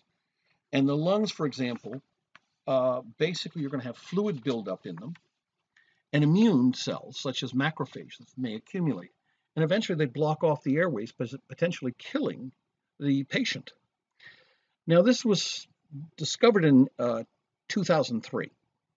You're going to see some mention of it uh, in, on page 569, okay, in Southeast Asia, and that is in the future opportunities section. It spread globally. It was a pandemic. There were about 800 deaths. So it was about a 9.6 fatality rate. 9.6% uh, doesn't sound like much, but people were quite concerned in 03. There were no cases since 2004. It's been found to be spread mainly through contact with infected saliva, or droplets of coughing. In general, close contact is a requirement to become infected. Close contact included living with or caring for a person who had SARS, breathing in air that, that an infected person had exhaled. But in some conditions, SARS was spread within an apartment building and to healthcare workers. At present, to date, there is no vaccine against SARS. Isolation and quarantine remain the most effective means to prevent the spread. Other preventative measures include hand washing, disinfection of surfaces of fomites, wearing a surgical mask, avoiding contact with bodily fluids, washing the personal items of someone with SARS in hot soapy water, including eating utensils, dishes, bedding, etc., and keeping children with symptoms home from school. Neither antivirals nor antibiotics appeared to help. Treatment of SARS is largely supportive with antipyretics, supplemental oxygen, and mechanical ventilation as needed. Just to help you get a better handle on this, this was a, a uh, modern potential epidemic that had problems which demonstrated uh, to a lot of healthcare people and future healthcare workers such as you that sometimes patients are not cooperative and potentially infected carriers are not cooperative. There was one individual, uh, this is where literally there was a time, I believe it was Toronto, Canada. They thought they had a couple of cases. They were trying to isolate everything and uh, they had actually the Minister of Health of Canada who was told to, I'm not going to use the bad word, but bleep off by a person who was contaminated. And they told him he was not to leave the hospital. He told them to go take a hike. Uh, you, you can imagine what words he was using. I remember seeing it on TV going, I don't believe this. And this guy stormed right out of the hospital. He went home, they isolated him there. But this is part of the challenge with uh, quarantine when we talk about microbiology and diseases that you have uncooperative individuals and what do you do with them? One other disorder that is similar is called MERS, which MERS-CoV. It stands for Middle East Respiratory Syndrome. It also is a coronavirus. It was also called camel flu. The symptoms may range from mild to severe, they include fever, cough, diarrhea, and shortness of breath. The disease is typically more severe in those with other health problems, and the illness can cause respiratory failure that requires mechanical ventilation and support in an intensive care unit. The virus appears to cause more severe diseases, uh, disease symptoms in older people, people with weakened immune systems, and those with chronic diseases such as renal disease, cancer, chronic lung disease, and diabetes. Again, this is uh, the causative agent was a coronavirus, which was different from the SARS coronavirus. It was called a beta coronavirus. The pathology is similar to SARS, the respiratory infection with possibility of a cytokine storm.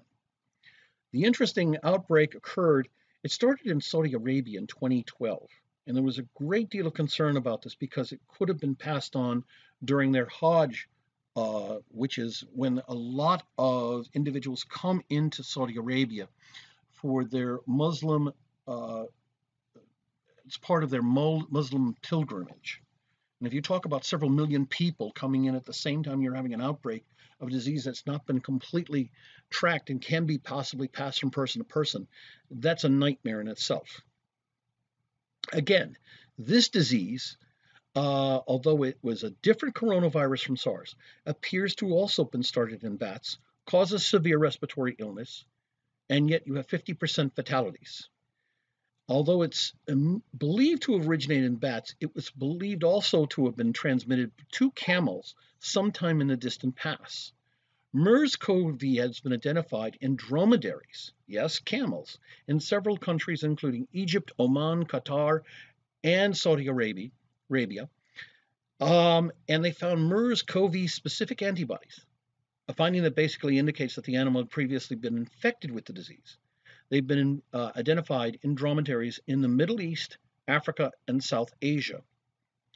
The current scientific evidence suggests that dromedary camels are a major reservoir for MERS-CoV and an animal source of MERS infection in humans.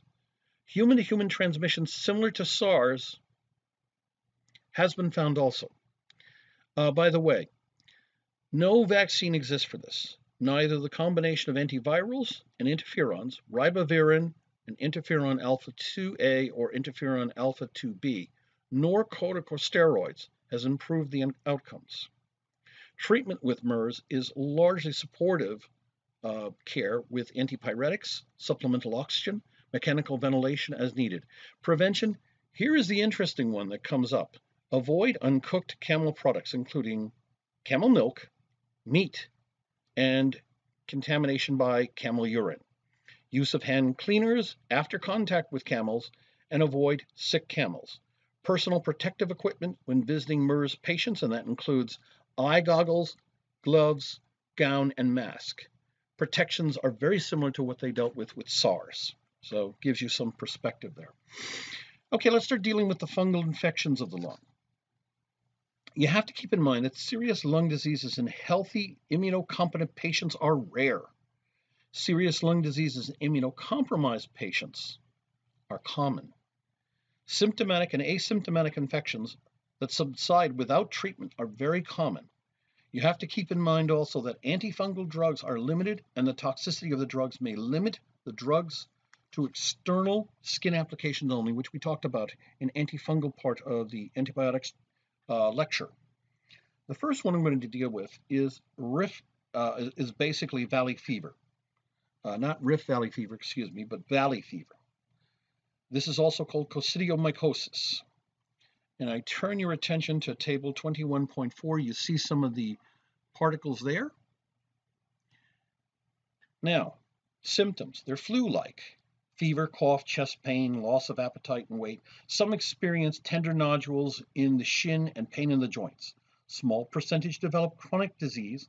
Most recover in about a month. Symptoms and tissue injury mostly due to the host's immune responses to fungal antigens. Small percentage have caseation necrosis, caseation necrosis resulting in lung cavities.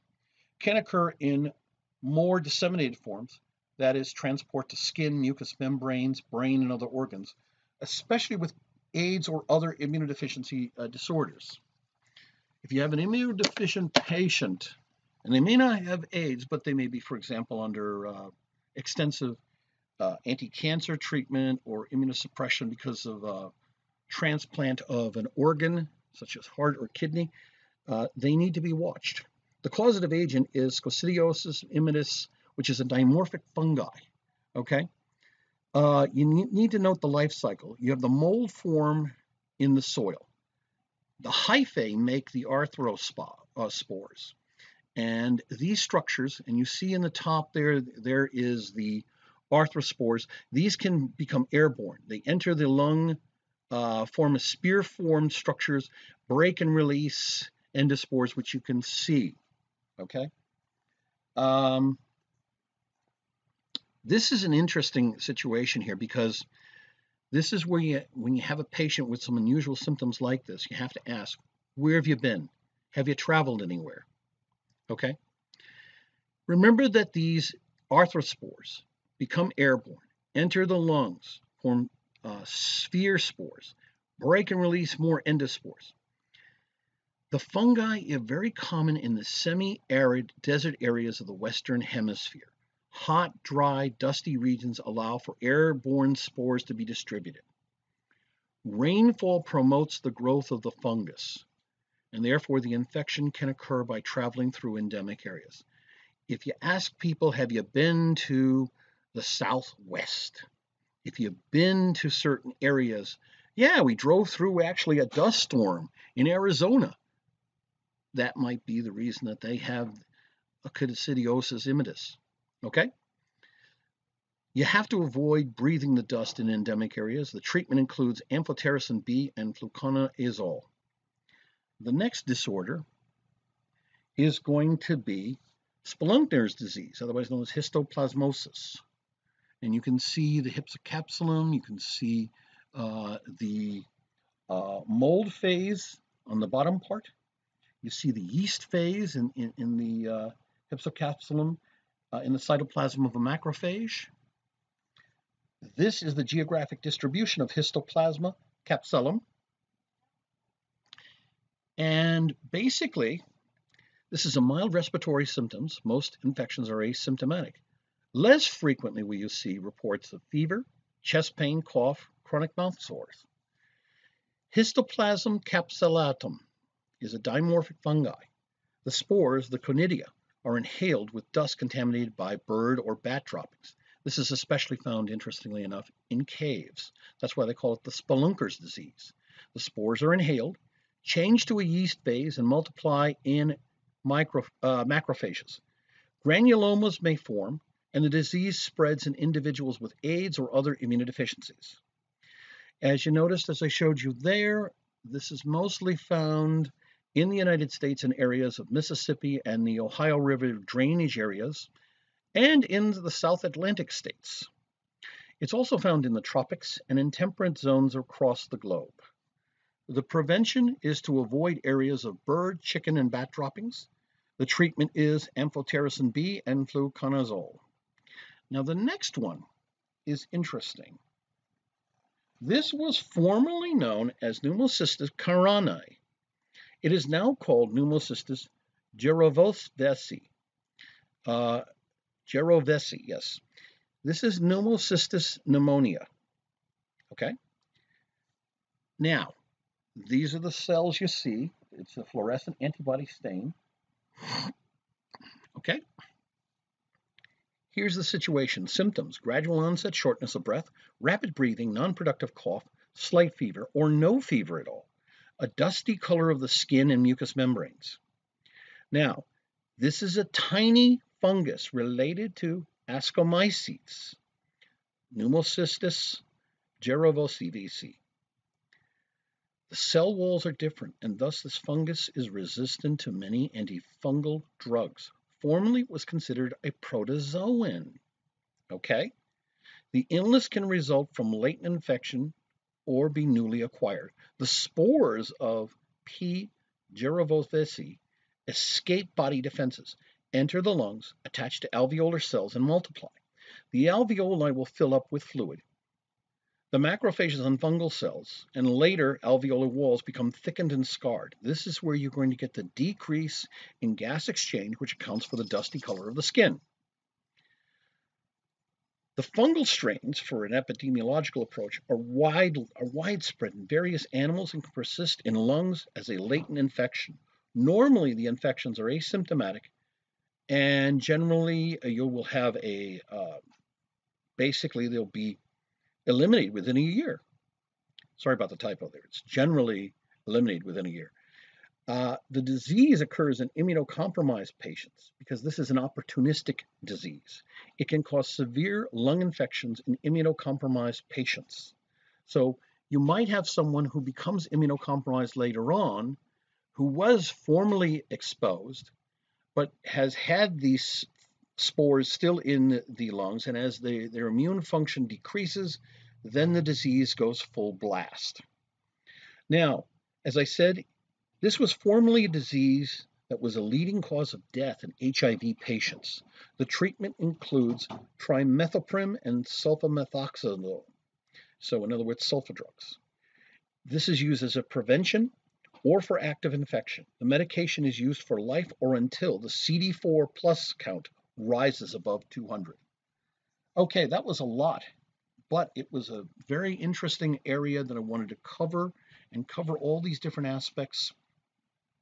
What I encourage you to do is review the micro assessment, review the disease in review and the future opportunities, and review your chapter summary. And we'll see you next week.